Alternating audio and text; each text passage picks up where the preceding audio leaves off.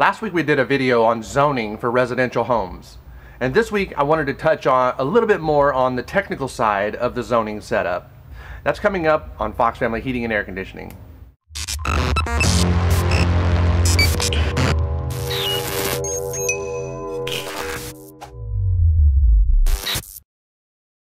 Hey, if this is your first time watching our channel, please click subscribe down here on the bottom right. And if you click that little bell next to it, you'll be notified of all of our videos as they come out. Some HVAC installers say you can't truly set up a unitary ducted HVAC system like the ones that the majority of us in the United States have set up in our homes. Remember, zoning is for homes that have two thermostats, one for upstairs and one for downstairs. They typically allow for one HVAC system to heat or cool one zone or the other, but definitely not the whole house at one time. If you're an HVAC technician, let me know in the comments down below how you like to set up bypasses and dump zones to get rid of the extra air that zoning creates. I'm sure it's a little different all around the world, and I'd love to hear about it. Trane and Carrier have some really nice setups when it comes to their variable speed systems and modulating dampers that open and close strategically, allowing you to really dial in the rooms that you want to condition and when. But buying one of those systems is no joke. Currently, I'd say only about 7% of the market are actually buying this high-end equipment.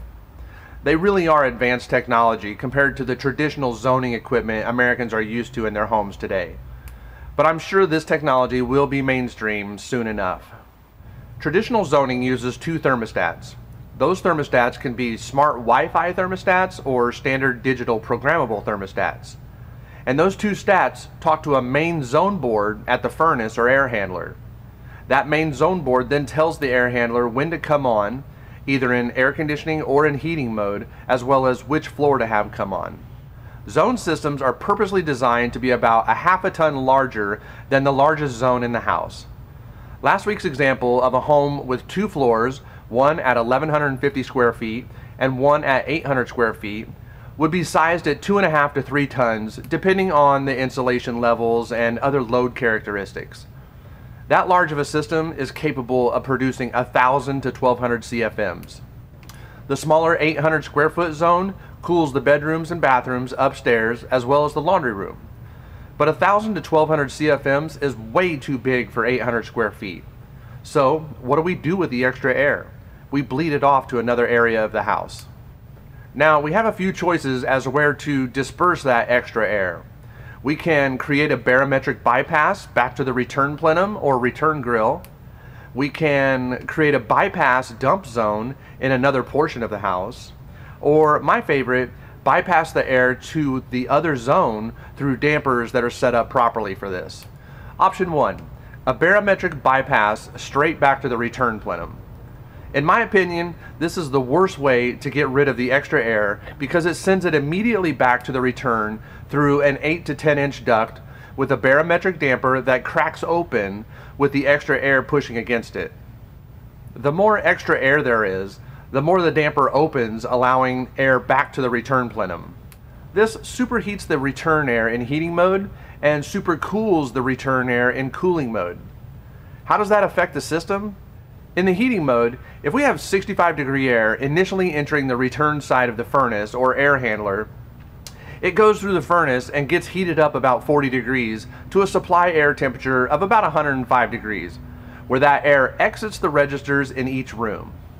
If one zone is open and the other is closed, the extra air gets sent through the 8 to 12 inch duct immediately back to the return plenum and mixes with that 65 degree air, essentially raising the return air to about 70 to 75 degrees in that return air plenum. This air then gets heated up to 115 degrees, which now heats up the return air in the plenum to 80 to 90 degrees. On and on this goes until the system has superheated the return air so high that the limit switch turns off the burners because the supply air is too hot.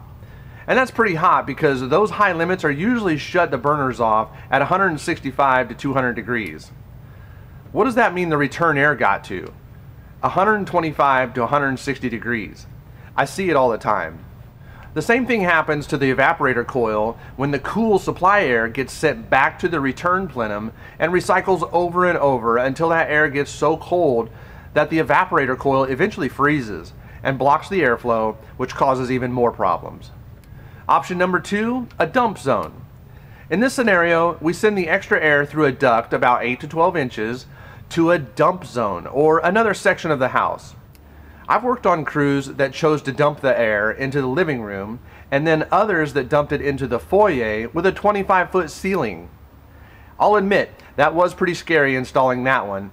Trusting those ceiling joists to hold me up as I was cutting in that 20 by 20 can was a little intimidating. I wasn't the lead installer on those jobs. In fact, I was just a helper at the time. But what we learned from those jobs was the air being dumped into that living area was making the rooms uncomfortably warm or cold depending on the season. Having learned our lesson, we started dumping that air into the end of the return duct to either a Y, where the duct meets the can, or a collar cut into the return can itself at the ceiling. I like cutting it into the can because the cold or hot air gets to mix a little bit more with the return air before being drawn through the furnace or evaporator coil again.